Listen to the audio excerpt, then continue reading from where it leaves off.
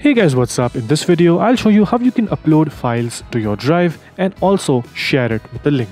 So very simple process hope you guys can follow through and now that I said that this is how you can do it. So all you have to do is install Google Drive. It is pre-installed on Android devices but on an iPhone you will have to install it from the Play Store.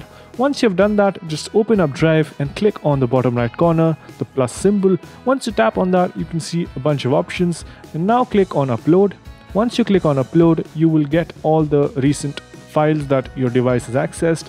To select the file that you want to upload. Let's say I want to upload this file. Once I tap on that, I can see on the notification shade whether or not it has been uploaded. Now the file is uploaded. Just refresh the page and you will see that file. Once you're here, now you can see that the file has been successfully uploaded onto my drive. We can go ahead with step number two, which is to share this file. Now to do this, you will have to tap on the top right corner again on the three dots. And once you tap on that, you can see a bunch of options. You can either share this share this file with people, just type in their email address over here and it will go ahead and share that file with them.